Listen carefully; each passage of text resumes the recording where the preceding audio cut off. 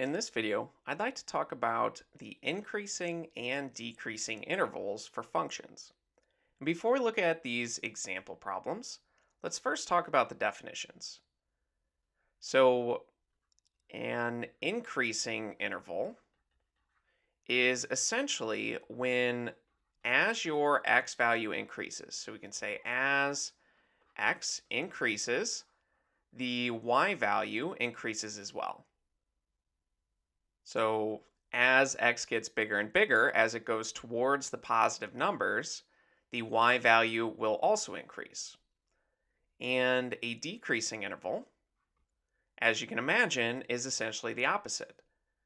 So in this case, as x increases, as x approaches the positive numbers, the y value in this case will decrease. And with these two definitions in mind, let's take a look at the different example problems and see if we can apply them. We need to select the intervals where g, this is our function g of x, is decreasing. So as x increases, the y value needs to decrease. And there's a couple different ways to look at it, but basically these intervals are going to be split between the peaks and the valleys. So notice that for negative x values, starting at negative 5 and then going all the way down to maybe negative 2.7 or so, that our y values are getting more and more negative.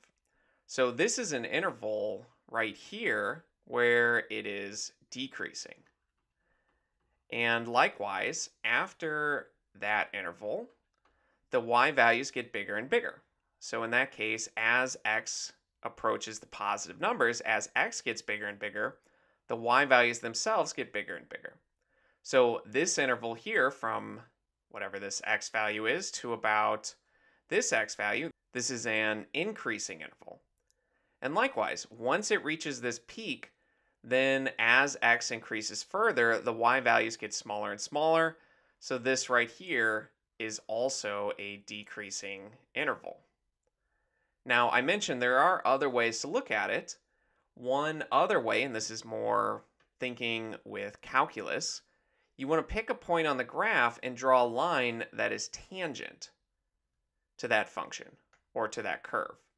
So if you draw a little line here that just touches at that point, if this line has a positive slope, then it's increasing.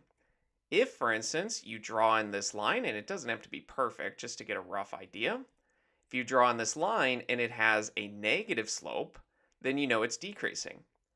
And likewise, just to complete the pattern, at these peaks and valleys, if you were to draw that line, it would be a flat line where the slope is zero, because at that point, it is neither increasing or decreasing. So that's another way to look at it, but from a more algebraic perspective, you really just need to determine as x gets bigger and bigger, are the y values going up or are they going down? So now, with all this in mind, let's try and answer the problem. And so we're going to go through each of these intervals and see if it's decreasing on any of them. And for these, we need to choose all answers that apply. So it could be all of them or it could be none of them. So for A, from minus 5 to minus 4. So that's this x value to this one. So it looks like it starts there and maybe goes to there. Well, on this interval, notice the y value started around maybe minus 12 and finished around close to minus 50. So it's definitely decreasing there. So that one is correct. We can fill that one in. And from minus 2 to 2, so now we're looking at from here to here.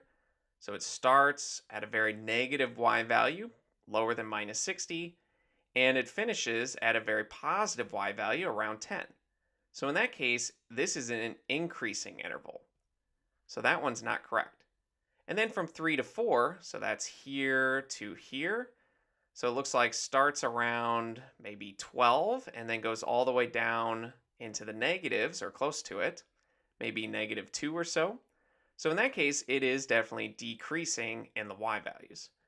So choices A and C would both be correct, which means it can't be none of the above. So let's look at some different problems just to keep applying these definitions. And so this one, we need to know which intervals is the function increasing? So, in which intervals is the y value going up as the x values increase? And so you can notice, let's take from here to here. This would be an increasing interval. Since as the x values get bigger, as it goes from minus 3 to maybe minus 1.6, the y values go from minus 1 to 0. They are getting larger. So that's increasing. It's also increasing from here to here and roughly from here to here. So there are many different increasing intervals here. Whereas this interval, this interval, this interval, and maybe that little part there, those are all decreasing intervals, which in this case we're not concerned with. And I should mention this is also increasing as well, but it's just a tiny part there. And again, one way to confirm that it's increasing, if you imagine drawing a tangent line, so a line that just touches the curve at any given point, it only touches at that one particular point. If the slope of that line is positive, then it's an increasing interval. And in this case, it is. So let's look at the different answer choices. So from minus 4 to minus 3, so that's here to here, that looks to be decreasing. The y values go down in that case.